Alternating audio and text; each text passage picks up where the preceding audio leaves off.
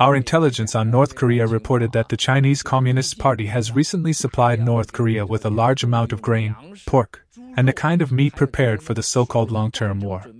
They were transported to North Korea by train after train and truck after truck.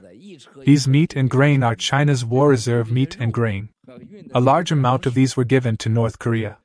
Of course, North Korea has to listen to the CCP to fire a few shots and launch a few missiles. Everyone must remember that when the CCP is at its most dangerous moment and wants to provoke regional disputes in Asia primarily, it relies on North Korea. To instigate international conflict, it mainly relies on Iran and Russia. As for the recent regional disputes provoked by the CCP, this mad dog has totally gone insane. In South America and countries in the Southern Hemisphere, including Africa, all the infiltration is for their votes. They do not have weapons or hotspots. Their main function is at the United Nations voting process, where the CCP can manipulate the so called voting results. The main battlefield is in the United Nations. Everyone has seen that whenever there is a vote at the United Nations, the CCP's cronies and allies all come out.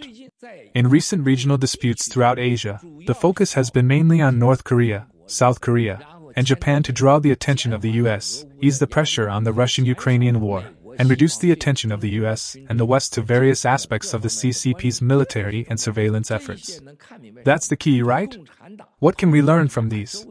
It means that the Communist Party, through these so called strategic moves in Asia, completely relies on Russia's winning the war against Ukraine and then works together with Russia to attack Taiwan.